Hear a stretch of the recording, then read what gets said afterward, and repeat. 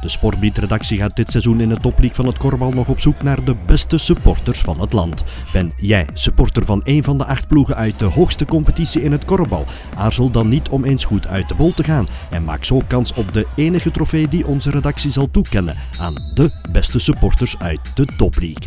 Supporter zo hard en origineel als u kan en maak kans op onze trofee die wij aan de beste supporters zelf zullen overhandigen.